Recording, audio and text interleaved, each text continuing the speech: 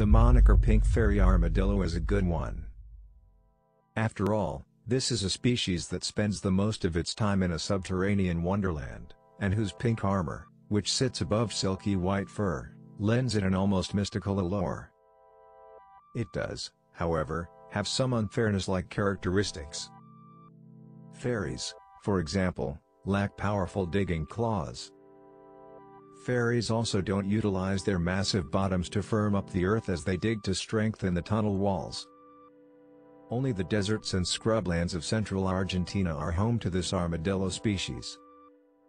It employs its leathery shell as a cooling aid during the hot season to reduce the risk of heat exhaustion.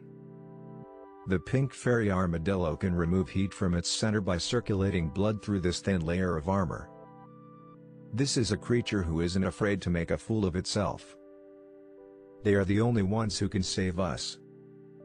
The pink armadillo, like other fairies, is difficult to spot.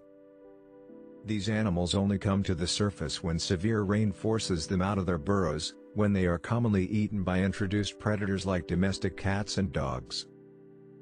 Because the species is in danger of extinction in the wild, this is one fairy in desperate need of a godmother. You are still here wonderful. You are now one of the wonderful followers of the channel, write I am wonderful in the comments. Therefore I will give you my admiration for your wonderful comments. Like you, we are close to a thousand subscribers. If you are a new viewer, subscribe to the channel to be among the wonderful people. I see you in a new video coming.